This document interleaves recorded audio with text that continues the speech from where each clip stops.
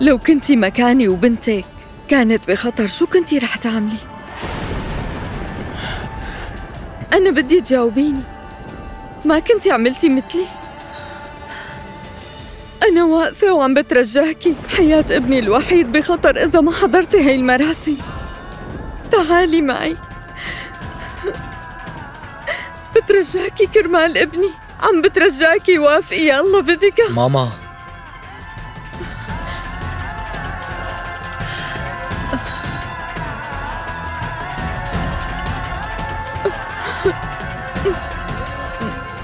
لا.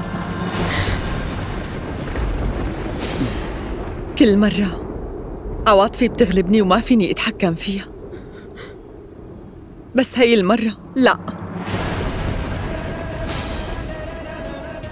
كل مرة ساهيل وأنتي وعمته كمان بتخلوني أعمل اللي بدكن إياه وبتفرضوا علي اوامركم أنتو بتهددوا أو بتحددوا أو بتترجوني مثل ما حضرتك عم تعملي. انتو اللي عم تجبروني. اعمل بس الشغلات اللي بتشوفوها صح.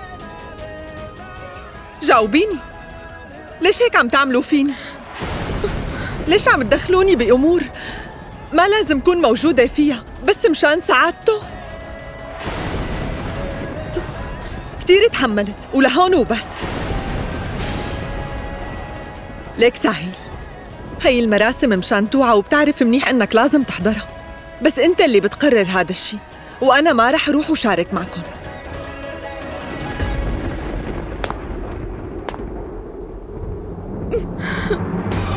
عن جد ما عم صدق. هي طلعت بس بتعطي محاضرات عن الحب يلي مستحيل ينتهي. هي ما بتفهم شو يعني حب بس أنا شو رح أعمل وهي ما عندي هيك.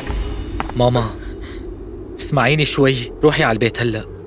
ما رح يصير معي شيء بالمناسبة أنا ما رح شارك بالمراسم مع نيدي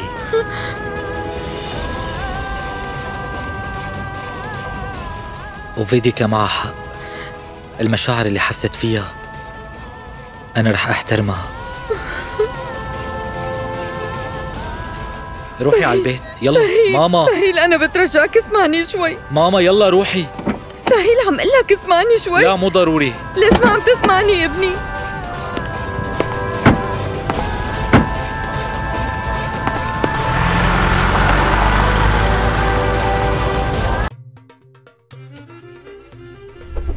حلقات هذا المسلسل متوفرة على وياك مجانا وبجودة عالية.